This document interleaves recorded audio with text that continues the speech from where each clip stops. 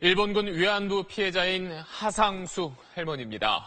17살 때 일본군에 끌려가 고통스러운 나날을 보내야 했던 할머니는 해방 이후에도 집으로 돌아오지 못하고 60년이라는 긴 세월을 중국에서 보냈습니다.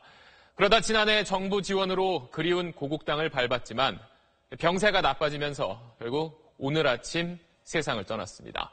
이제 살아계신 피해 할머니는 36분입니다. 이성훈 기자입니다. 영정 사진 속 하상숙 할머니는 옅은 미소를 지으며 조문객을 맞았습니다. 향년 90세. 오늘 아침 9시 10분쯤 한 맺힌 세상과 이별하고 영면에 들었습니다. 지난 1928년 충남 서산에서 태어난 할머니는 17살 때 돈을 벌게 해주겠다는 말에 속아 중국의 위안소로 끌려갔습니다. 해방이 됐지만 중국에 정착한 할머니는 1999년에야 한국 국적을 회복하고 2003년에 처음 고국 땅을 다시 밟았습니다. 中国几十年了，我妈真是不简单，很艰难的，在中国过得很艰难。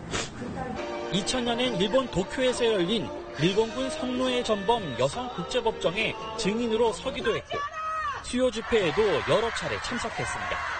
일본 놈들이 그렇게 나쁜 짓 한 거 아직도 안 했다 이런 말을 하면 안 됩니다. 일본 놈들이 이렇게 망해서 자식들 앞에도 말은 안 나옵니다.